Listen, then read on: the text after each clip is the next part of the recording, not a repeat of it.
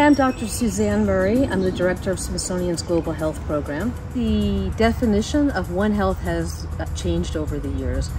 A decade ago, when the term was first coined, I think it referred to the uh, constellation and the connection between human health, animal health, and environmental health. And over the last decade, I think it's morphed to include more of a multidisciplinary approach to addressing some of the world's largest problems. And by that, I mean that there's really room for everyone in addressing some of these issues. Everyone from museum specialists to virologists, MDs, DVMs, PhDs, nurses, and increasingly communities. If we're going to be successful in addressing some of the world's outbreaks, the previous ones and the ones that we know are coming, we very much have to start from the beginning, including communities.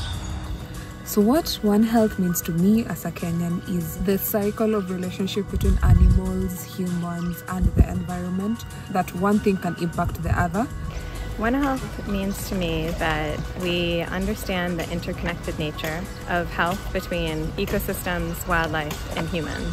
One Health to me is a multi-sectoral and transdisciplinary approach to ensuring that there's optimal health outcomes in wild animals, in the domestic animals, in our environment, and also to human health. My definition of One Health influences the way I approach my work. So my work revolves around understanding the epidemiology of rabies. And rabies is a zoonotic disease, so it can affect humans, domestic dogs, other mammals, including wild wildlife. And so in order to control rabies and understand its epidemiology, you need to understand it in humans, domestic animals and wildlife alike. Training the next generation is why I do my job. This is the most rewarding aspect of my life. I mean, it sounds a bit of a cliche, but uh, I came for the biology and I stayed for, for the community. My work is contributing towards rhino health and conservation, meaning that black rhinos are critically endangered. Me and my team are trying to understand which are the best uh, procedures, which are the best drugs to be used in the rhinos, and that they will avoid getting diseases that could lead to mortality. Mentorship is incredibly important to me.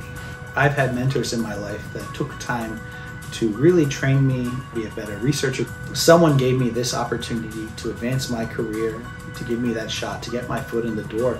And it's important that I pay that forward. We have to take special focus on reaching out to our first generation students, women and underrepresented minorities in science that typically are left out from these opportunities. And we have to provide this mentorship in ways that can provide access as well as opportunity.